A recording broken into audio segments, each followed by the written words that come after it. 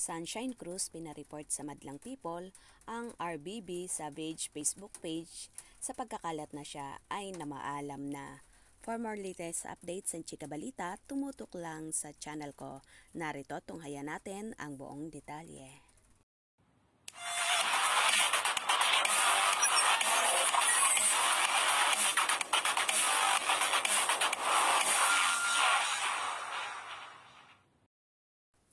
Walang awang pinatay ang Love Day Woman actress na si Sunshine Cruz sa social media.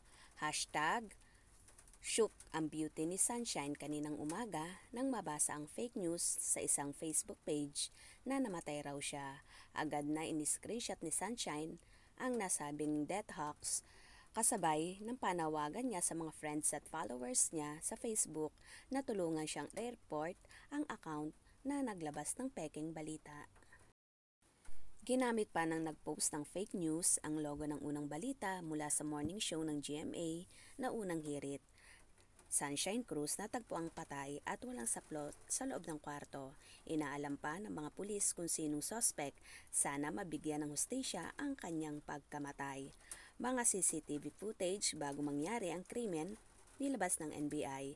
Panoorin niyo po ang video profile ko. Rest in peace, Sunshine Cruz ang nakasulat sa nasabing artikulo ng RBB Savage Facebook page. Nirepost ni Sunshine sa kanyang social media accounts at pinabulaan na patay na siya. Hindi po ito totoo, buhay na buhay po ako. Please report this RBB Savage Facebook account. Thank you, Ani Sunshine. Agad namang umaksyon ang mga Facebook friends ng actress kaya ilang saglit lang ay deleted na ang nasabing Facebook account. Samantala, muling nagpost ng message si Sunshine sa Facebook at nagsabing nananahimik ako dito sa house at nag-aabang araw-araw ng Love Day Woman kung sino ba talaga ang pumatay kay Adam Wong. Ang tinutukoy niyang Adam Wong ay karakter ni Christopher De Leon sa kapamilya series na Love Day Woman na malapit nang magtapos. Kasali rito si Shine bilang si Kay Estrella, ang isa sa kabit ni Adam at nanay ni Gia na ginagampanan naman ni Kim Chu.